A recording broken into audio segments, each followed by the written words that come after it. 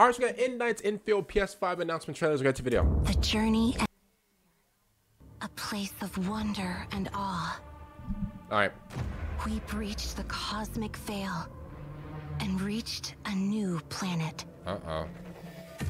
Yet generations later, this world remains untamed. Our reunion was foretold. Do I remember this Our one? I don't think I remember this one. To cross. I'm here for you now, Administrator. Administrator. Oh wait, I do remember this. I do remember this. We did, bro, brother. We reacted to this before the Game Awards. There's a, there's a trailer of this before the Game Awards of this game. I remember this. I remember this. Yes, I do remember this. Because I remember she kept saying administrator.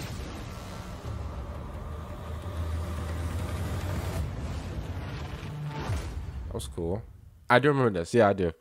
I do remember that because she kept saying administrator in, the trailer before. Um, I reacted to um an Endfield trailer uh before the Game Awards, and I was like, wait, do I remember this one? And yeah, I do now remember the trailer. But um, like I said before in pre- in the previous trailer, if you guys haven't watched that, make sure you guys go watch that. By the way, um, th- the gameplay looks really well, bro, and, and you know, I would say that I like when trailers of new games show a little gameplay, not a bunch, but when they show like a little gameplay, they don't have to, by the way. They really don't. Like, like, bro, we look at the GTA 6 trailer, they didn't show a lick of gameplay, or did, did they? No, they did show gameplay, but they didn't show like they showed like cutscenes of what the game looks like.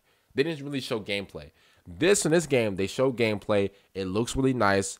Um, I'll be honest, like the story I don't know. I don't know who administrator is. It kind of confuses me a little bit, but obviously it's an announcement trailer, so I think it's supposed to confuse me. Um, other than that, man, looking at some of the gameplay, man, I'm I'm really impressed, man. It, it- it's something that I really haven't really seen before, like this this whole art style. Because at first, I'll be honest, like if you look at this, I wasn't expecting like no.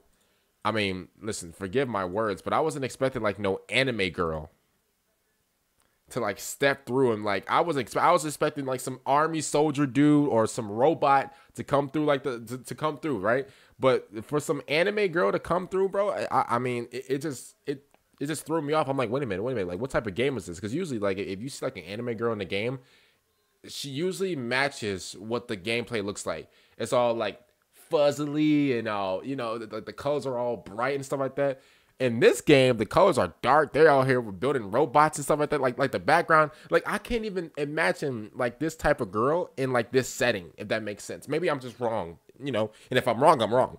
Other than that man comment down below. What do you guys think about Arknights Endfields see you guys later for the next one. I'm out and